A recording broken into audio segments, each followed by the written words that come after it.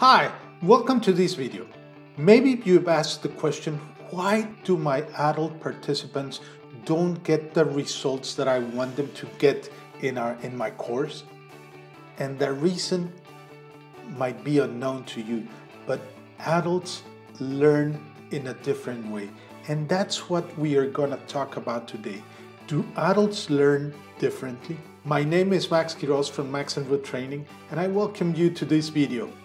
And yes, adults do learn differently, and we are going to learn why do they process information in different ways than, kin- than, than children, than boys and girls, and how we can use that information to design our adult learning programs so that they have the maximum efficiency and efficacy. We've heard of a term that's called andragogy, and andragogy is a term opposed to pedagogy, and andragogy has to do with how adults learn.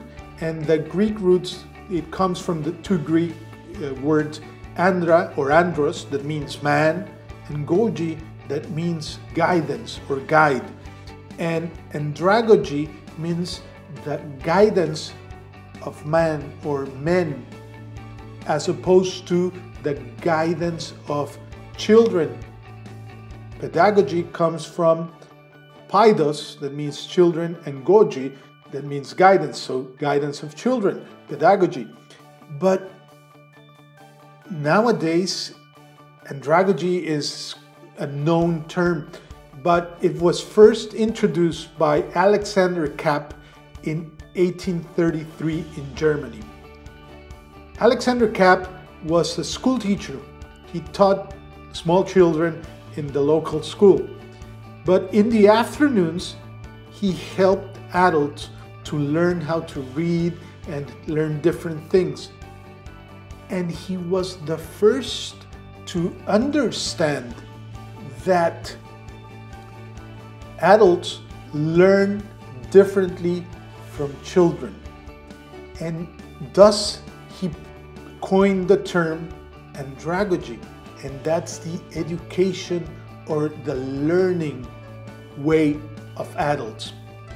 But that term stayed in the back burner until 1967 in the late 60s when Malcolm Knowles, an American uh, researcher and scientist, rediscovered the term andragogy and just catapulted into orbit, and everybody started talking about the different ways in which adult learns. And Knowles proposed several principles of andragogy. We're not going to go into all the principles. We're just going to mention some aspects that for us are important that you must know in order to design your adult learning courses.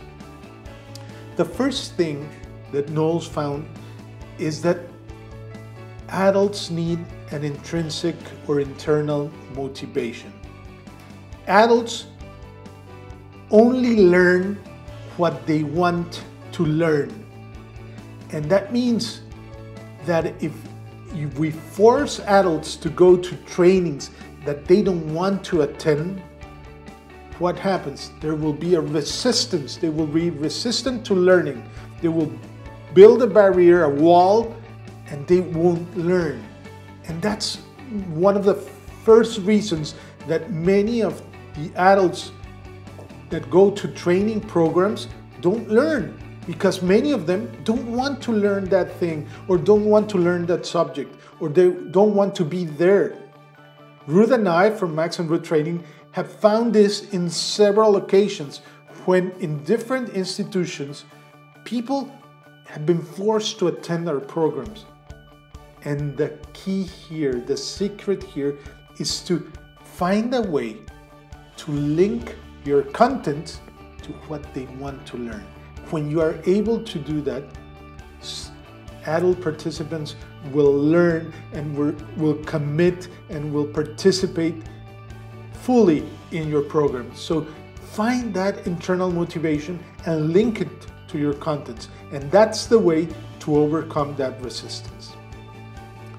Another important aspect is that for adults, it's important to know what's in it for them. What benefits will they get for, from participating in our programs? How is this course, this program, going to help them personally, professionally, whichever aspect you choose.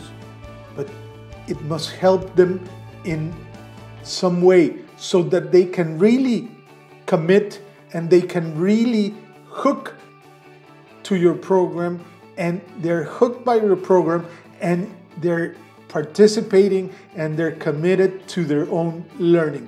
So it's very important that from the start you tell them what what's in it for them and what benefits they're going to get for from participating in your program. So it's important that you understand this. Another important aspect is that adults learn by doing. We used to think that only children and teenagers learn by doing, but now it's proven that adults also learn by doing. So your programs must incorporate a lot of practice activities, something where they can learn something and then practice that new knowledge. If they are able to do this, learn something theoretically and then practice it, what happens? Knowledge goes deep into them and they will remember what they learned with you for a long time. And that's another thing that we find in adult learning programs that adults tend to forget what they learned because they weren't able to practice what they learned theoretically. So it's important for you to program and design different kinds of activities so they can practice and put into effect what they've just learned. Another aspect that is really, really important for adults is that most of the adults that attend training programs go because they need to solve some kind of problem. And we have to have that problem orientation. Our courses and programs should help adults solve problems. And that's the basis of corporate training. Corporate training programs are designed to help people solve problems that they find on the job. So it's very important for us whenever we are designing our programs that we understand and we perf know perfectly what problems does our problem our program help them solve. So keep that problem orientation in mind always. Yes experience affects learning it's very important for us to understand that all adult participants come to our programs with a big, big, huge backpack of experiences. And those experiences can help them learn new things or can prevent them from learning new things. The important thing is that all adults come with a huge baggage of experiences and we have to be able to use that experience to support our learning programs. And that's why it's very important always to understand what they have experienced. Allow them to share that experience with us and with the group so that we can know how to aim our programs and that so that they that our program can help them really help them learn something new and not be stopped by a wall of rejection. So it's important that to understand that experience affects learning. It has been found that adults learn much better in informal situations. So you can ditch all those rigid, structured courses and protocols. Adults learn better in informal situations where they can share, where they can communicate, where they can uh, establish some sort of community sense with other adults. And when we understand that we are not teachers, we're not the owners of knowledge and, and, and wisdom, we are facilitators of their learning process when we are one more of the community that is learning with them and helping them achieve some educational goals, that's when adults really learn. So we have to change our point of view. We have to change our position to that of an aid in the learning process.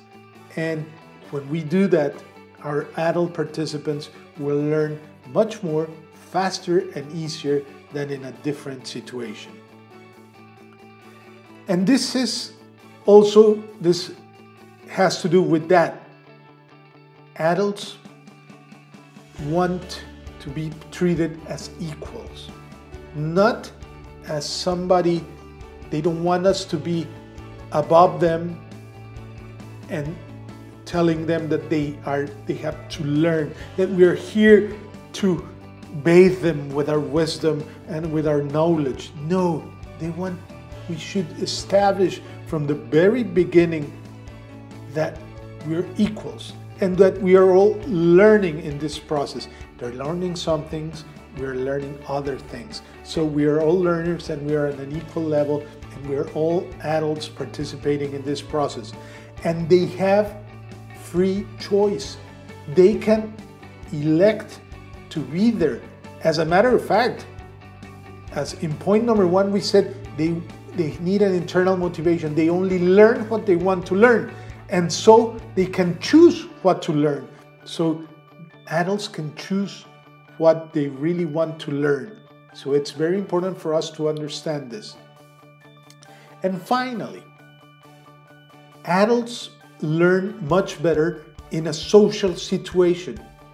We're social beings, humans are social beings. And we learn much more when we are in small groups, in by pairs and, or groups or threesomes, where we can share our experiences and learn from other people's experiences. And that's the way we learn in social settings. So it's very important to design social activities in all of our learning programs. These are different aspects of andragogy that we must take into consideration when designing our adult learning programs. We really hope that this video has been helpful for you and we see you in the next one. Have a great day.